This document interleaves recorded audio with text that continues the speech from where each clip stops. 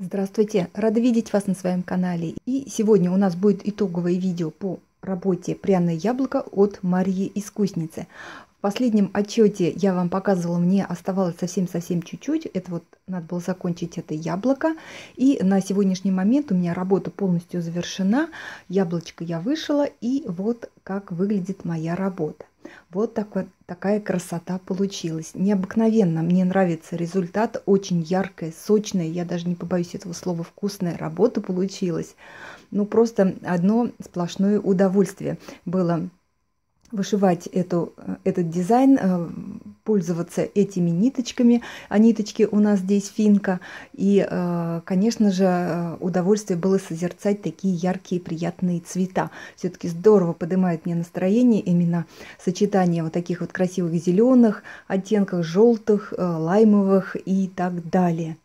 А, прекрасная, прекрасная работа. Всем советую, кто не боится вышивать работу с большим количеством бэкстича, беритесь. А, в этой серии есть еще и другие работы. А, они такие довольно интерьерные, поэтому можно повесить их будет и на стенку, и сделать, допустим, подушку, что, собственно говоря, я и собираюсь сделать.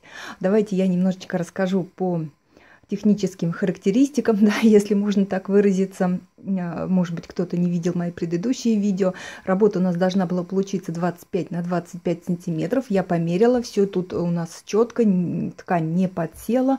Но, насколько я знаю, что в наборе, вот даже не знаю, а написано, что в наборе у нас Линда от Свайгард. Она вообще не садится, очень хорошего качества, конечно, в отличие от Линды от Гаммы. А, Мулине финка, игла пермин, но перминовские иглы мне, честно говоря, не очень э, нравятся. И, соответственно, у нас здесь э, схема. Схема представлена вот в таком черно-белом варианте, то есть она символьная. Я люблю такие схемы, я знаю, что многие не любят черно-белый вариант, но вот, честно говоря, мне легко по нему работать.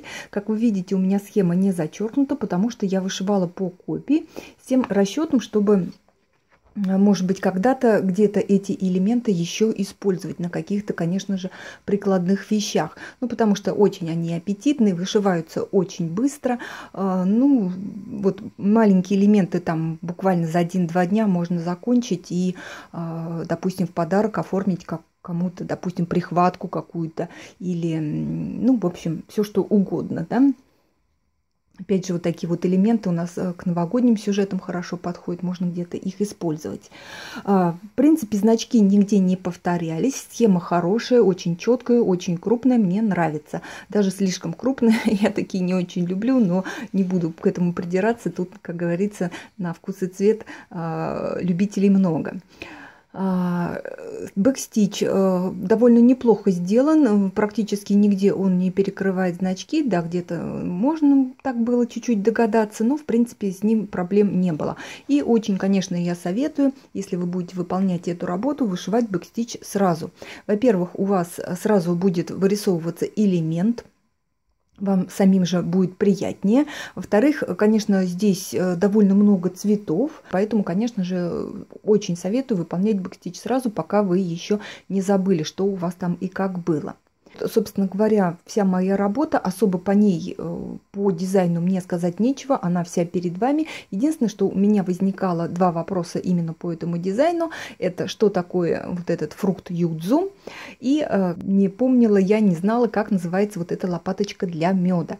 Лопаточка для меда или молоточек для меда или ложка для меда называется веретено.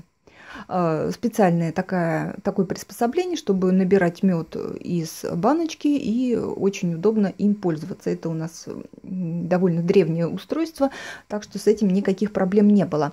А, мне даже и подсказали, собственно говоря, под видео. Под видео мне также подсказали, что вот это вот э, фрукт юдзу, это цитрусовый, но э, Конечно, спасибо большое, но, в общем-то, да, я сама уже поняла, что это цитрусовый. Я немножечко спрашивала про другое. Я спрашивала вообще, что это э, и э, с чем это едят. Оказалось, я, конечно, погуглила. Было мне интересно. Я люблю узнавать какие-то подробности о дизайне.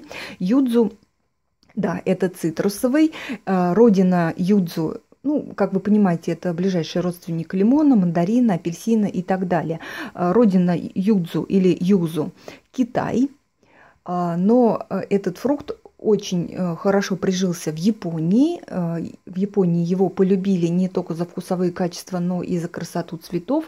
И поэтому юдзу чаще всего называют японским лимоном. А, так что вот такое интересное у него есть еще название. И, конечно же, юдзу используют не только для любования прекрасными цветами, но и в кулинарии. А, очень богатый витамином С представитель цитрусовых, по-моему, если я не ошибаюсь, в нем больше всего этого витамина С, и также у него своеобразный вкус.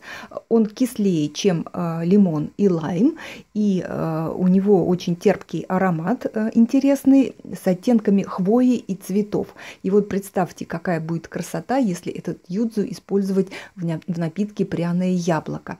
Юдзу у нас в магазинах, я, честно говоря, не видела, довольно экзотичный для нас фрукт. Можно его заменить вполне лаймом или лимоном, конечно же. же я вышивала этот дизайн. Если вот честно говоря, вышивала я его в основном по выходным. А, при большом желании у меня надолго растянулось. Я, честно говоря, не помню, когда я его начала. По-моему, начала я его еще летом, да, сейчас уже, считайте, ноябрь месяц. То есть долго-долго вышивала, но вышивала я его в основном по выходным, а, по элементно.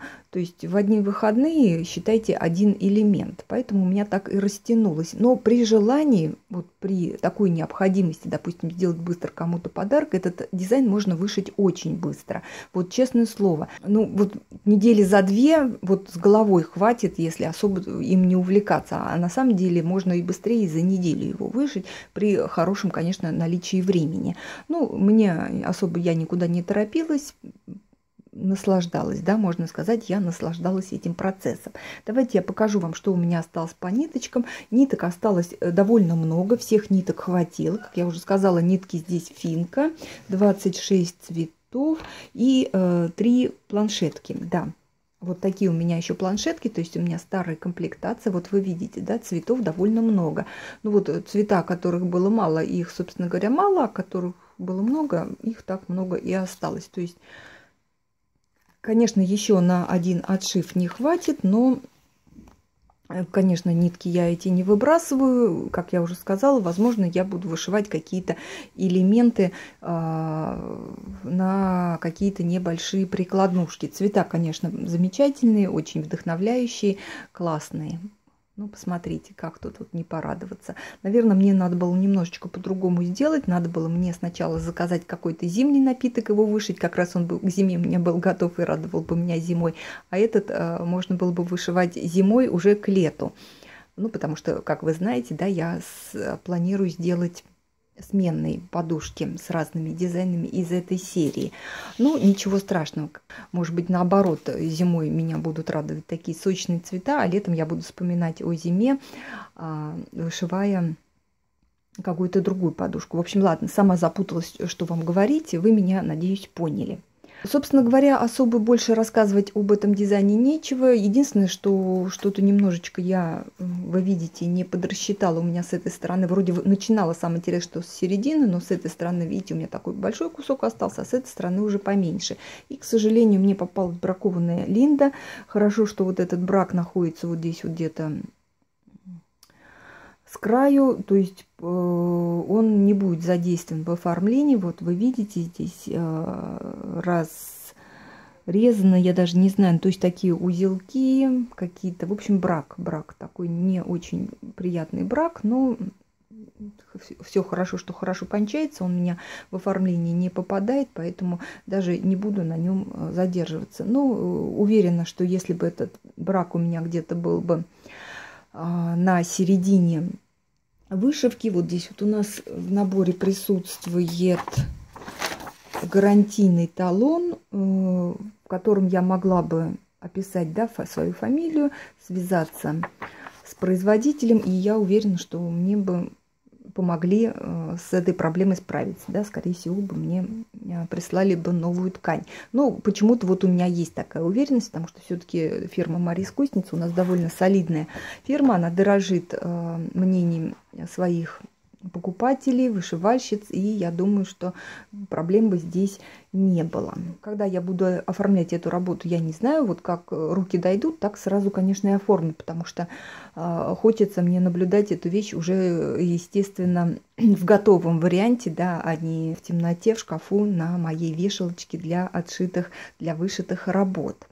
А, конечно, сейчас в конце видео вас ждет слайд-шоу этой работы а, по элементно. Вы посмотрите, как интересно цвета переходят один в другой. К сожалению, Мария Искусница не указала имени дизайнера, который разработал такой замечательный дизайн. Ну, Большое-большое спасибо за, прекрасное, за прекрасную разработку. И, в принципе, разработка очень удачная. То есть э, здесь вот мне не хотелось менять ничего. То есть каждый крестик на своем месте был. Все, мои дорогие, я с вами прощаюсь, приглашаю вас на слайд-шоу. А я была очень рада, что вы зашли ко мне в гости. До свидания. Увидимся в следующем видео.